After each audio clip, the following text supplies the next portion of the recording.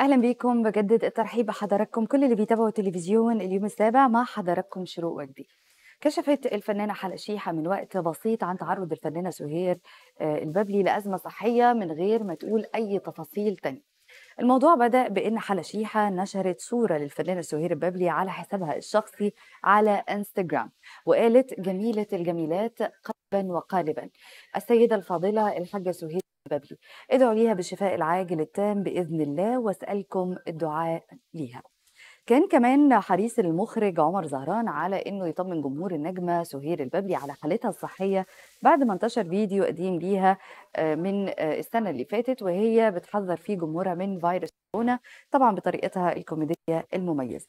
كمان نشر زهران صورة آه، قديمة بتجمعها مع الفنانة سهير آه، بتجمعه عفوا مع الفنانة سهير البابلي على حسابه على فيسبوك وكتب الصورة أو كتب على الصورة بطمن الجميع على النجمة الكبيرة المعشوقة سهير البابلي هي بخير الحمد لله. لكن كتر الاتصالات من جميع أنحاء العالم العربي ومصر خلتها غير قادرة على الرد. وقال كمان إنها بتشكر جميع جماهيرها على محبتهم وعلى اهتمامهم وربنا يزيدها من فضله.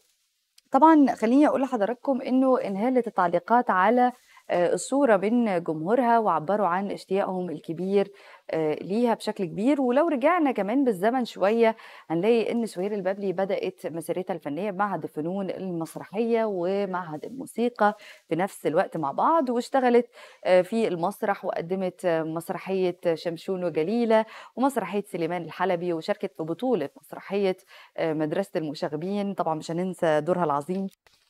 فيها ونرجس وريا وسكينة طبعا وعلى الرصيف وبكيزة وزغلول كلها أعمال الحقيقة يعني أكتر من رائعة بالإضافة أنها كمان قدمت حوالي 42 فيلم خلال مسيرتها الفنية. طيب خليني أقول لحضراتكم مرة تانية الخبر إنه كشفت الفنانة حلا شيحة من وقت بسيط عن تعرض الفنانة سهير البابلي لأزمة صحية من غير ما تقول أي تفاصيل تانية. الموضوع بدأ بإن حلا شيحة نشرت صورة للفنانة سهير البابلي على حسابها الشخصي على انستغرام وقالت جميلة الجميلات قلبا وقالبا. السيدة الفاضلة الحاجة سهير البابلي ادعوا ليها بالشفاء العاجل التام بإذن الله وأسألكم الدعاء ليها. يا رب يا رب تقوم بألف سلامة يا رب وترجع لنا كده وتبقى زي الفل. خليني أقول لكم كمان إنه كان حريص المخرج عمر زهران على إنه يطمن جمهور النجمة سهير البابلي على حالتها الصحية بعد ما انتشر فيديو قديم ليها من السنة اللي فاتت وهي بتحذر فيه جمهورها من فيروس كورونا بطريقتها الكوميدية المميزة. كمان نشر زهران صورة قديمة بتجمعه مع الفنانة سهير البابلي على حسابه على فيسبوك وكتب على الصورة. بطمن الجميع على النجمة الكبيرة المعشوقة سهير البابلي هي بخير الحمد لله. لكن كتر الاتصالات من جميع أنحاء العالم العربي ومن مصر جعلتها غير قادرة على الرد. قال كمان إنها بتشكر جميع جماهيرها على محبتهم واهتمامهم. ربنا يزيدها من فضله.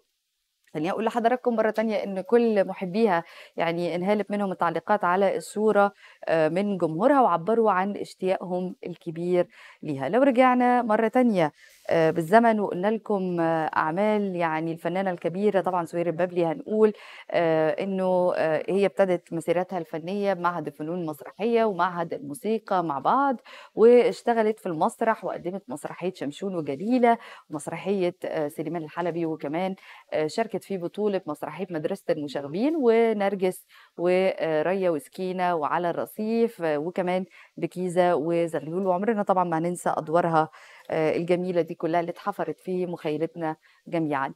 بالإضافة كمان إنها قدمت حوالي 42 فيلم خلال مسيرتها الفنية. خليني أقول لحضراتكم إنه طبعا أسرة تلفزيون اليوم السابع بتتمنى لها الشفاء العاجل وتقوم لنا بالسلامة يا رب. وهنوافي حضراتكم أكيد بكل جديد. شكرا ليكم كل متابعي تلفزيون اليوم السابع كنت مع حضراتكم شروق وجدي وإلى اللقاء.